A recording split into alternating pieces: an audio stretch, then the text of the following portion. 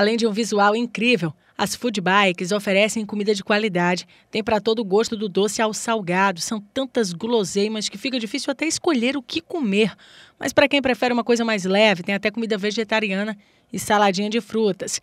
Esse aqui é o segundo encontro de food bikes e surgiu da necessidade desse casal em mostrar que em São Luís existe este tipo de negócio, que por sinal parece ser uma ótima alternativa para quem quer ter seu próprio negócio com baixo custo. No primeiro encontro nós tivemos mais de, de 15, entendeu? E agora no segundo encontro também com outras variedades que né, acabaram pedindo o encontro. A gente resolveu estilizar essa ideia, é, botar um produto de qualidade e trazer para todo mundo, mostrar que esse mercado existe, que você pode ter ele no seu evento e propagar mais ainda.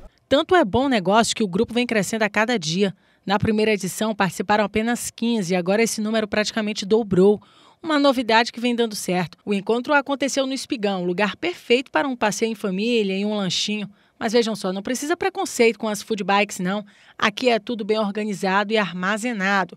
Não apresentam nenhum risco à saúde, pelo menos é o que diz essa nutricionista. A gente tem que lembrar que o nosso corpo não é lixeira, então a gente tem que pensar bem o que a gente está fazendo. Se a gente comeu toda semana certinha, a gente pode tirar uma refeição um dia, um sábado, domingo, para comer o que a gente gosta, né? Não vai ser esse, essa única refeição que vai estragar a nossa dieta.